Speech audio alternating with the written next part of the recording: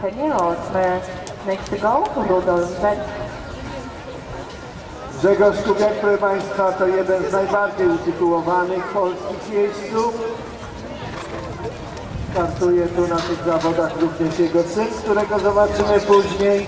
A pan Grzegorz ma już 16 medali z Mistrzostw Polski.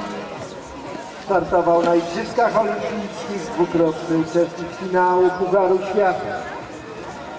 Awiata dziesiąta to dziesięcioletnia klacz rasy córka Ogiera Albatów z matki Bogras Willer. Wyhodowana w Niemczech, właścicielem konia jest Gabriel Gulce.